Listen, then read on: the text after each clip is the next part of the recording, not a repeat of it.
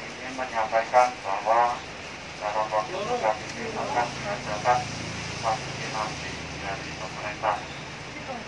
Diharapkan untuk masyarakat bisa mengikuti vaksinasi tersebut karena vaksin tersebut sudah melalui uji layak di badan badan pengawas obat dan makanan dan sudah dinyatakan aman sudah dinyatakan halal dari pihak MUI.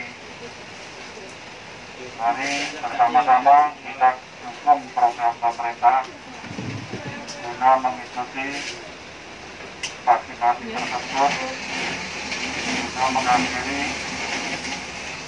pandemi COVID-19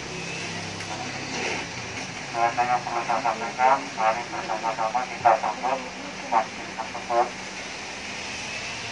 supaya kita bisa terhindar dari COVID-19.